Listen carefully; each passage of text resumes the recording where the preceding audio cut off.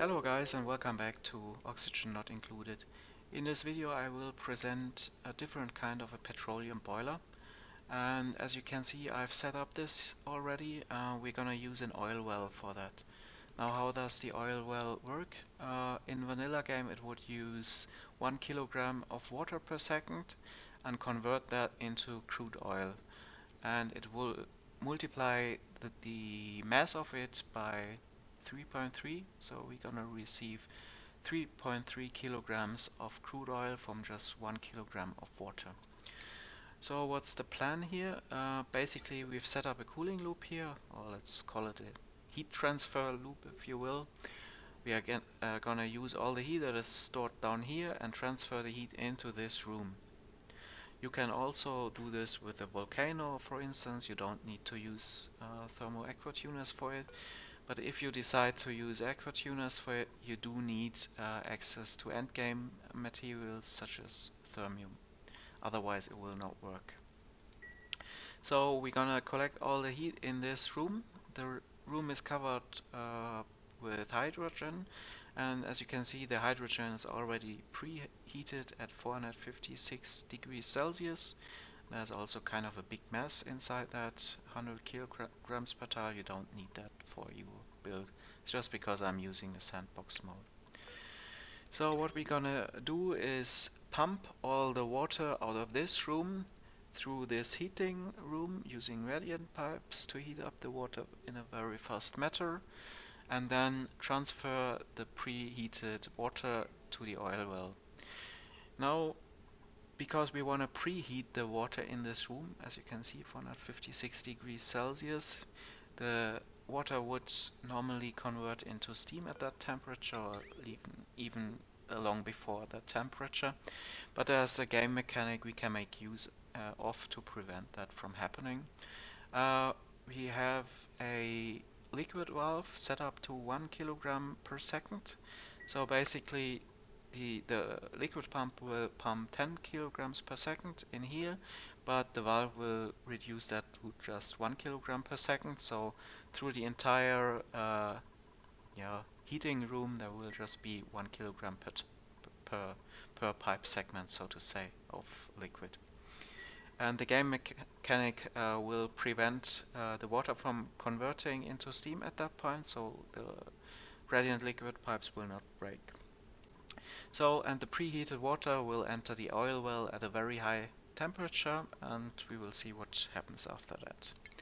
So, instead of just further talking, I'm gonna show you what's gonna happen. So, I'm in sandbox mode here. Uh, we're gonna add 10 kilograms of water at 27 degrees Celsius. Just gonna place that right above the pump. Uh, the game is still paused as you can see there's 10 kilograms at 27 degrees here, not more and then I leave the game running. The water drops in here, gets sucked in by the pump, is now entirely consumed and the valve will reduce the flow to just 1 kilogram per tile as you can see. Speed up a little. Now the valve has finished as well. As you can see it's 10 tiles, 1 kilogram each.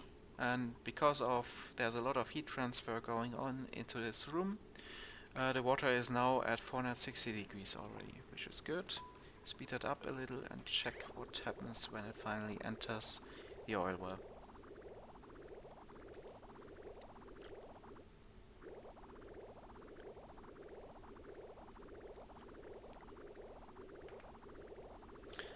Still flowing. Check the temperature again. 559, 500, no 458, 59. So, and slow down a bit again. Let's, until it, the oil well is finally processing it. Now the first water is entering uh, the oil well and as you can see it dropped a little amount of crude oil first but then the crude oil transferred into petroleum right away. So let's wait until the water has been processed entirely as you can see, the 10 kilograms of water have been used entirely now. let's see what we got. We got 7.9 here, 8.2, 8.5, 8.8.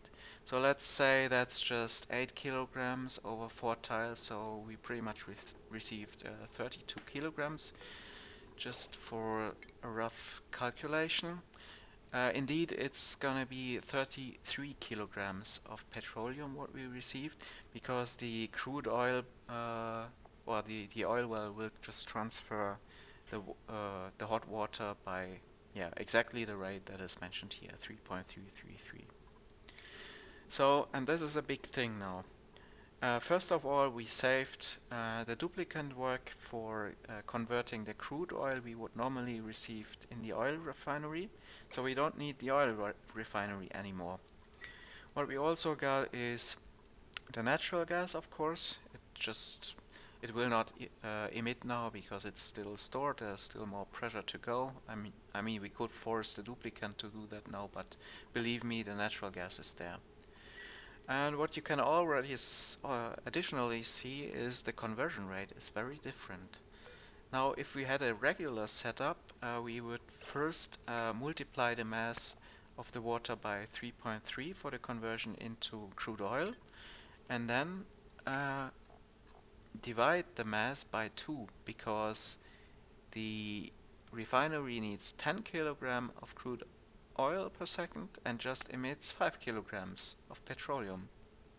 So normally we would receive uh, 16 kilograms of petroleum out of the 10 kilograms water invested. But instead we received 33 kilograms. That's a big deal. So we gained a lot of efficiency through this method. I have to admit there's still a bit of duplicant work to do, of course, with the oil wells. Those have to be emptied or released from the high pressure of the natural gas after a certain amount of time. But still, we gained a lot. And also, it's less uh, work, dupl duplicant work than uh, in the vanilla game with just converting it in the oil refinery. So I have to admit at this point I made a little calculation. We consume a lot of power here with those uh, three aqua tuners. As you can see each aqua tuner uses 3.6 or 1.2 kilowatts and combined I use uh, 3.6 kilowatts and there's also some extra watts used by the pump and also the oil well. So and what did we actually receive here? Again, we used uh, 10 kilograms, but those 10 kilograms of water were slowed down to just 1 kilogram per tile, uh, per, per second actually. And because of the conversion rate, we would receive 3.3 kilograms of petroleum per second. Now let's check that with the petroleum generator for, for a moment. Uh, the petroleum generator uses 2 kilograms of petroleum per second to convert 2 kilowatts. So 3.3 kilograms per second would roughly be 1 and 2 thirds of a petroleum generator, so about 3.3 kilowatts of power. And as you can already tell from the three aqua tuners, we would actually lose power if we just use this build uh, and not like a natural source of heat, for instance a volcano. So I can't actually recommend this build uh, to be used to generate power because you would actually lose power.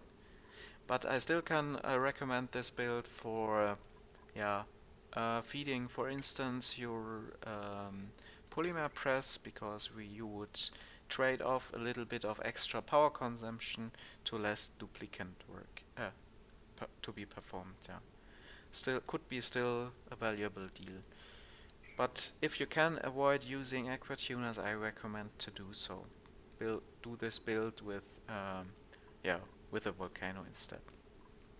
Now, one more thing to add, um, there has to be a lot of uh, temperature regulation done into this room. I, I don't have that added to the system, so pretty much this is probably not stable as the room is heating up stronger than uh, the water would uh, yeah, drag the heat out, out of the system. So you need a little automation when to run the aqua tuners and when not, and probably also for the pumps as well.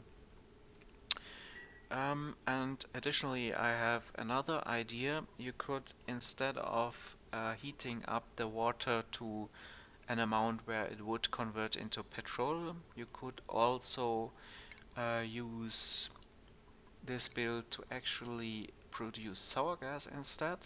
We need a temperature of 539 degrees Celsius for that. Let me cheat this just into this room. Let's say I think 800 would be fine. Paint. Let's check. Oh, didn't work. Ah, I'm in a misjudgment here. That's Kelvin. So we're gonna need what was temperature again?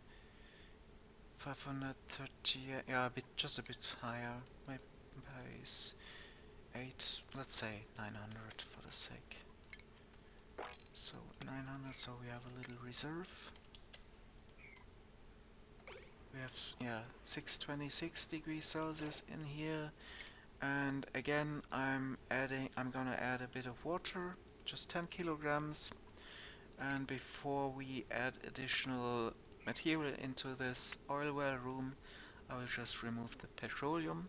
So, see again, 10 kilograms of water added to the system sucked in by the pump already slowed down by just one kilogram uh, per second and let's see what's happening in the oil well room again